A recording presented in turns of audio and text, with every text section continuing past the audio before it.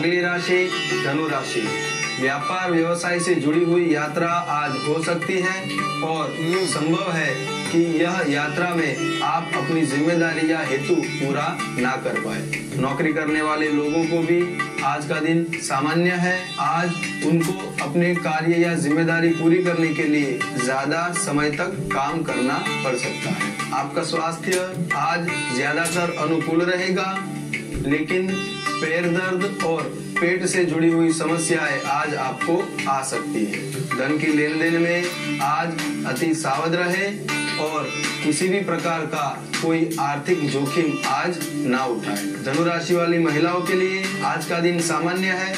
संतान से जुड़ी हुई कोई पुरानी समस्या आज समाप्त हो सकती है, लेकिन उनके जीवन साथी के साथ छोटी सी बात को लेकर मतभेद हो सकते हैं। कुल मिलाकर आज का दिन आपके लिए मध्यम रहेगा।